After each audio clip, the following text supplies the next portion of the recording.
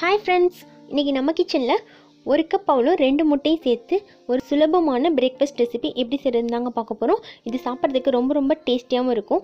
தினமும் இட்லி தோசை சாப்பிட்டு போர் அடிக்குதுன்னு சொல்கிற குழந்தைங்களுக்கு இந்த பிரேக்ஃபாஸ்ட் செஞ்சு கொடுத்தீங்க அப்படின்னா ரொம்பவே ஆசையாக விரும்பி சாப்பிடுவாங்க. வேணானே சொல்ல மாட்டாங்க. இது வரைக்கும் தமிழ் ஃபன் சேனலை சப்ஸ்கிரைப் பண்ணாத நண்பர்கள் சப்ஸ்கிரைப் பண்ணிக்கோங்க. அப்படியே பக்கத்தில் இருக்க பெல் ஐக்கானை கிளிக் பண்ணிடுங்க ஸ்டவ் ஆன் பண்ணிவிட்டு பேன் வச்சுக்கலாங்க. அதில் ஒன்றரை டேபிள் ஸ்பூன் அளவுக்கு ஆயில் சேர்த்துக்கலாம். ஆயில் நல்லா ஹீட் ஆனதுக்கப்புறமா அரை டீஸ்பூன் கடுகு சேர்த்துக்கலாம். கடுகு நல்லா பொரிஞ்சு வந்ததுக்கப்புறமா இது கூட நம்ம கருவேப்பிலை ஆட் பண்ணிக்கலாம். ரெண்டு கொத்து கருவேப்பிலையும் சேர்த்துட்டு கருவேப்பிலையும் நல்லா பொரிஞ்சு வரட்டுங்க அப்போ தான் வாசனையாக இருக்கும். இது கூட இப்போ ஒரு பச்சை மிளகாயை குட்டி குட்டியாக கட் பண்ணிவிட்டு சேர்த்துக்கோங்க.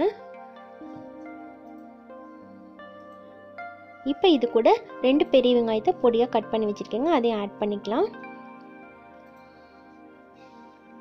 வெங்காயமும் ஆட் பண்ணிவிட்டு இது கூட இப்போ ஒரு டீஸ்பூன் அளவுக்கு இஞ்சி பூண்டு பேஸ்ட் சேர்த்துக்கலாம். இஞ்சி பூண்டு பேஸ்ட்டும் சேர்த்துட்டு இதோடைய பச்சை வாசனை போகிற வரைக்கும் நல்லா வதக்கிக்கோங்க.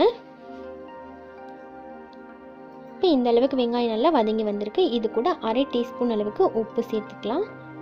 அரை டீஸ்பூன் மஞ்சள் தூள். அரை டீஸ்பூன் பெப்பர். சேர்த்துட்டு நல்லா வதக்கி விட்டுருங்க. ஒரு ரெண்டு நிமிஷம் போல் இந்த மசாலாலாம் நல்லா வதங்கி வரட்டும். இப்போ இந்த அளவுக்கு மசாலா நல்லா வதங்கினதுக்கப்புறமா இது கூட ரெண்டு முட்டை உடச்சி எடுத்து வச்சுருக்கீங்க. அதையும் ஆட் பண்ணிக்கலாம். முட்டை ஆட் பண்ணிவிட்டு நல்லா கலந்து விட்டுருங்க. முட்டை வந்து நல்லா உதிரியாக வெந்து வரட்டும்.